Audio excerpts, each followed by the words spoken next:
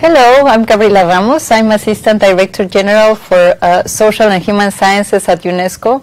And I have the great, great pleasure to welcome Professor Muhammad Yunus. Uh, he doesn't need any introduction because, of course, he's a Nobel Prize. He has this amazing uh, big uh, uh, uh microcredit uh, foundation. but now I'm going to be interviewing him for something else that probably people don't put a lot of attention to, but is his role in sports. In UNESCO, the social and human science sector deals with the sports, but not only sports for doing sports and for being healthy and for being happy, which is true, but for building more cohesive societies. So my fir first and foremost, thank you so much for thank you, Thank you for inviting me. I, I, feel I'm becoming your professional interviewer, oh, so I'm, I'm, I'm, honored about that. thank you. Thank but, but I wanted to, to, to say first, welcome to UNESCO. Second, we are proud that we are going to partner in terms of deploying sports as a, as a, as a source uh, and, and force for good. But I wanted uh, you to share with our audience, uh, Professor, uh, being an economist, having been building this amazing microcredit system that now, of course, is everywhere, your bank, uh, the Grameen Bank, and that everybody is looking at this the very way in, in which you de developed the, the system. Uh, what, bring, what brought you from there to the Yunus Sports Hub? How, how you link them? How you explain thank, to the thank public? You. Thank you for asking that question. Because first of all, I'm not a sports person. I was not associated with any sports event and so on. Uh, but I see the impact of sports in people, uh, particularly coming from Bangladesh. I see it uh, every day. But, and, and peaks it uh, during World Cup. When World Cup comes in, almost every house in Bangladesh, in the rural areas, in the urban areas, raising flags of the country or the club they support.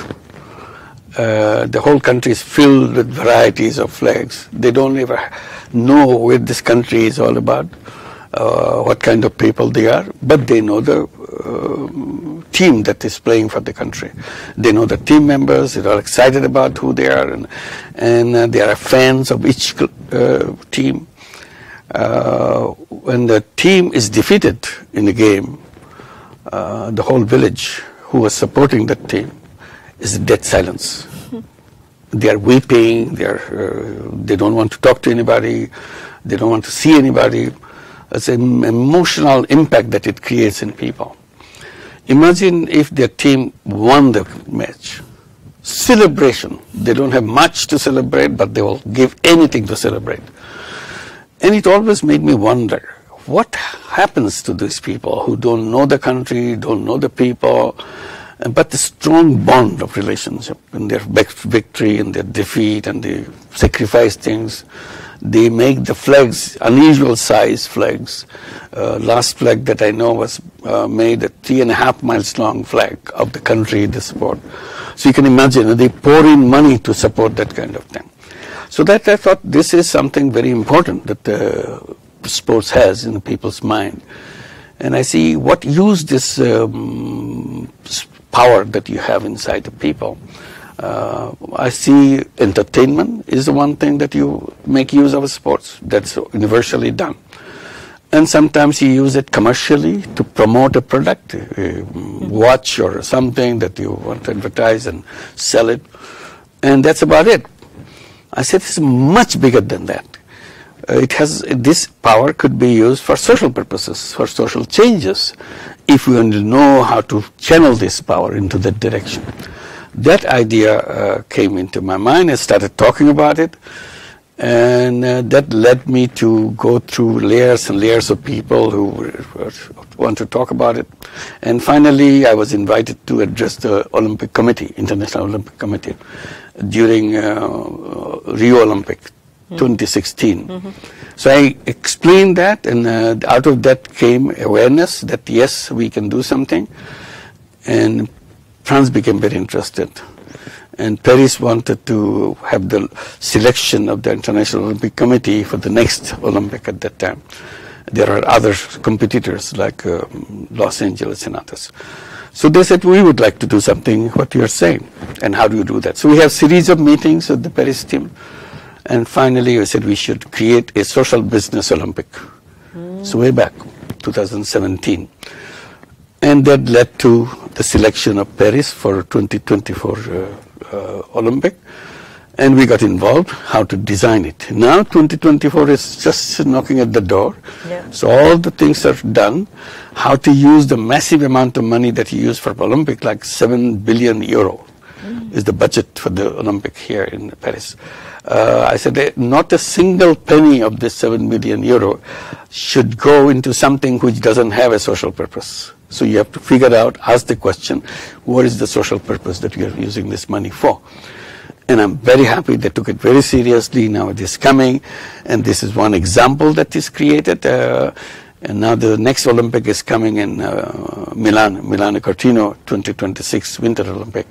They became very interested because of the Paris thing. Uh, they invited us to see how we can uh, do the similar thing with the uh, uh, Milan Olympic, Milan Cortina Olympic.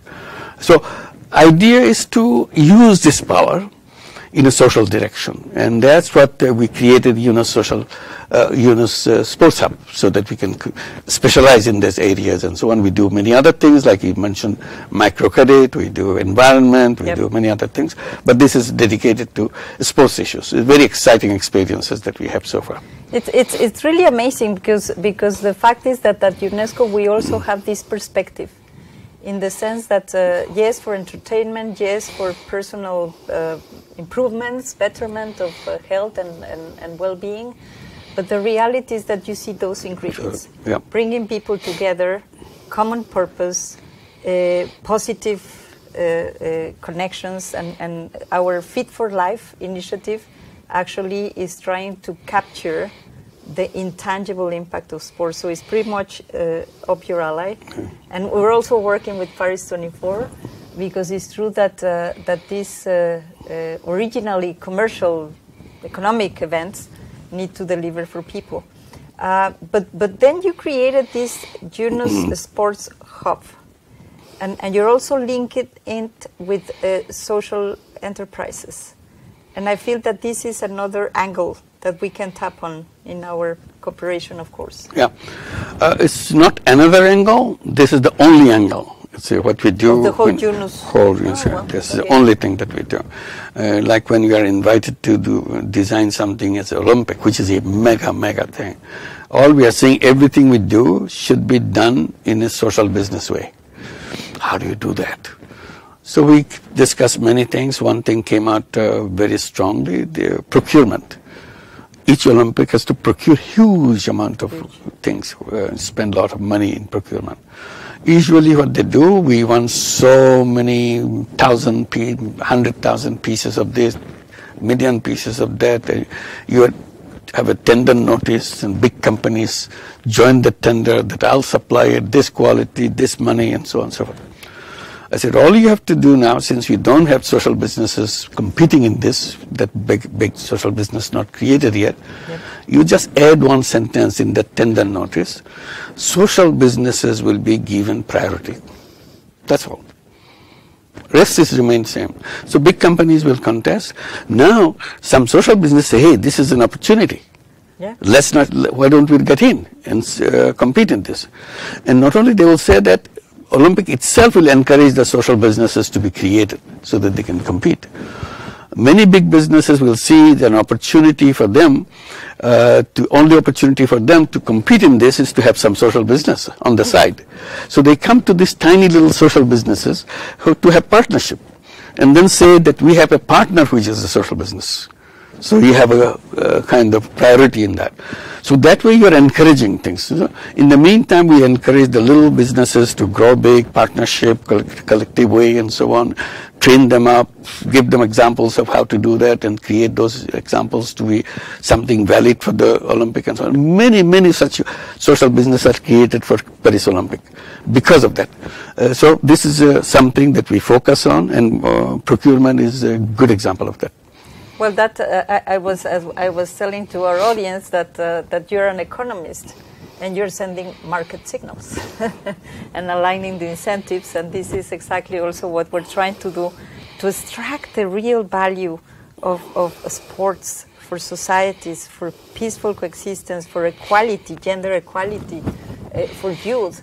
And, and that's why we are so excited because we see that we are almost soul sisters or soul brother and sister. Right, right. but the, the reality is that uh, uh, if we feel we are powerful in UNESCO in terms of sports as a, as a source of uh, well-being, uh, partnering with you, it will really bring it to a higher level. Wonderful. And, and, and this thing is, is really related to youth empowerment, cities empowerment, but also aligning the big events towards the common good. Yes. And therefore, uh, Tell me a little Just bit about this partnership Yeah, with UNESCO. Well, first, yes, what just yes, just one point I wanted to uh, point out. You mentioned about youth. Sports is all about youth.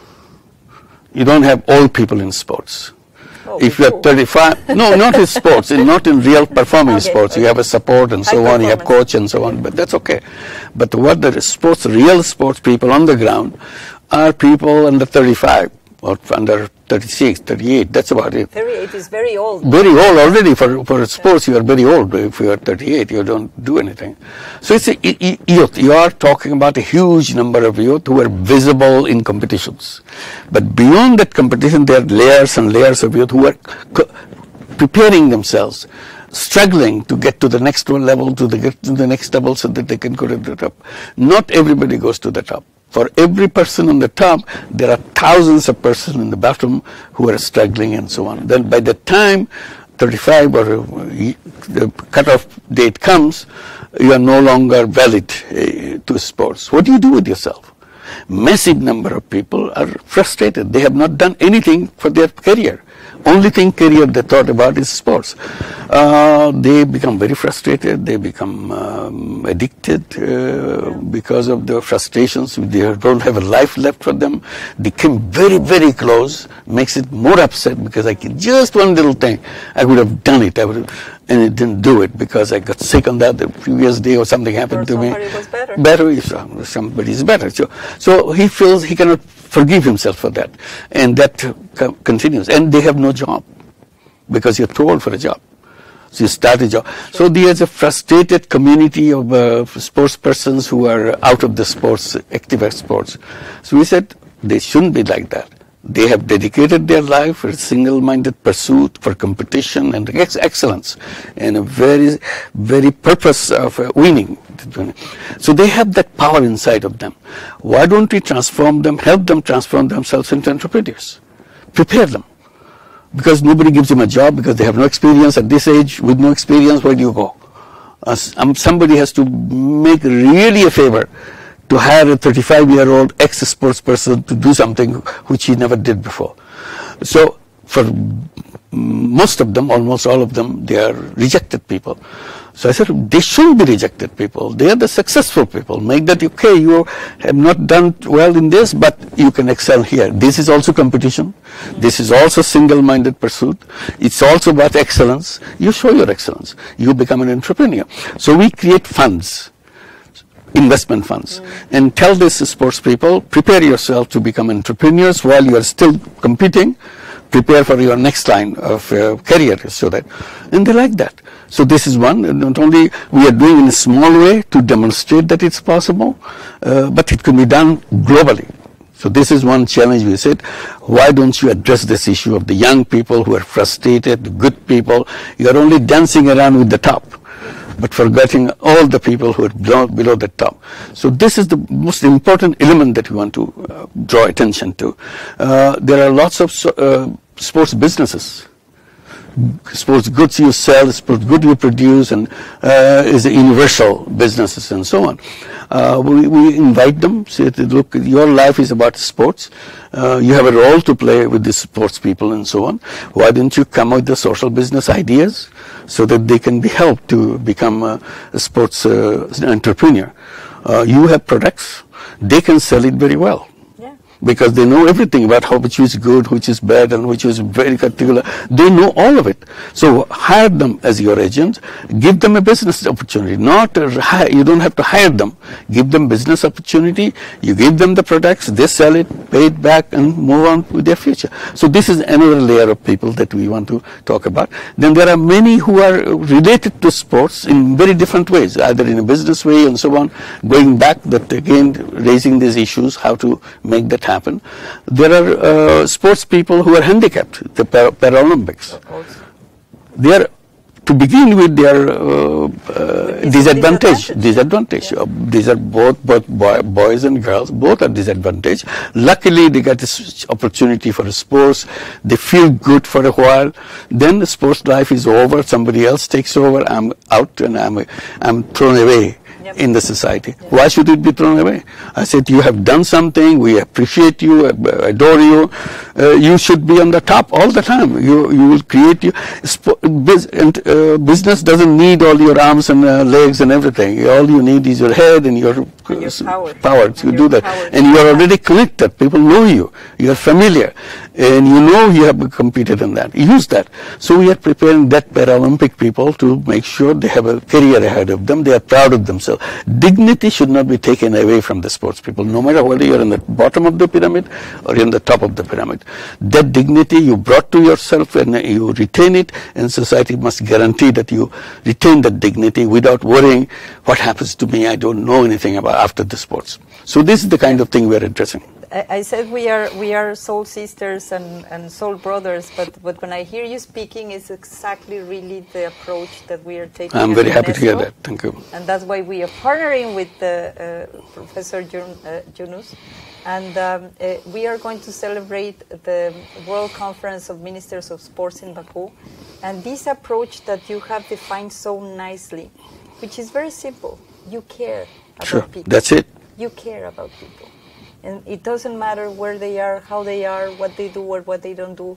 You provide with, with a way to, to really uh, take advantage of their strength, of their force, and then deliver for their own benefit. And therefore, this is why we are so excited to I'm partner with you. Thank you. And I would like to finish this, this conversation, Professor Yunus, because I want our, our public to know what does it mean for you to partner with UNESCO? Now that well, we have this very similar way of addressing the issues. We will be delivering in the MINEPS end of June lots of these things, labeling uh, big sports events, delivering for safety of sports people, respect for sports people because they are also under a lot of pressure, the question of the gender equality, the question of measuring the return of investment in sports which is not rightly done now. We only capture what a cost benefit analysis that I don't think is good for really capturing all these benefits. So we want to hear from you how you see UNESCO as your partner. Well, first of all, um, United Nations. UNESCO is United Nations, a part of the United Nations. Uh, attracts attention from the whole world and respect from the whole world. What you say, what you do has a tremendous amount of impact in people's mind, organizations' mind. So your uh, one uh, policy statement becomes so significant uh, for everybody in the world. Particularly, all the governments of the world are connected with you because they are the member states. Uh, on their behalf, you're saying this, we are doing this. So what you say, it seeps through all the layers of the bureaucracy and gets to the ministry, and ministry has to now do something about it. So it, it has, you have automatic channel. Uh, sometimes uh, that channel may not be well used. Uh, all we are saying, use it because the whole world uh, is waiting to hear from you what is your policy, what you're thinking, and so on. Make a policy, encourage the government through the ministry and ministries to impact on the businesses to the sports world, how to make these uh, people who are in the sports, they are not, they don't end up as a forgotten people. They remain as important people as they were when they are in sports, as they are when, even when their sports part is over. They should know that the sports is phase one of their life. But there's a phase two of their life. That phase two should be as glorious as their phase one. It should not be kind of You've forgotten. Nobody knows you anymore. Nobody cares for you anymore. Uh, people move on. The guy, uh, the, the little kid who is coming up, and all everybody's running after him. You are pushed away. Uh, you are nobody because you spent all your life in promoting this sports, and you are at your time you was the number one attraction for the games and so on. You remain that attraction, but move into the phase two of that life. This is what we should be doing: admiring them, drawing attention to them. Uh, give seal of approval from United Nations that you, this is a wonderful organization or a wonderful program that you have been doing, those kind of things. We will be stronger. Yes, indeed. Partnering with you, Professor. Uh, we'll be delighted. Uh, I, I know that, uh, that UNESCO is a wonderful brand. I met you, uh, I have been always in the multilateral setting. I met you before with other very uh, beautiful institutions, but UNESCO is a big brand. Absolutely. And with your brand, is going to be huge. So I just want to thank you thank for you. this thank interview. Thank you for inviting me. Thank you to the public for watching us and actually inviting you to keep watching this space because we will be delivering very good outcomes here with uh, this partnership with Professor Yunus and the Yunus uh, Sports, Sports Hub, Hub. and the Fit for Life UNESCO. Thank you very much.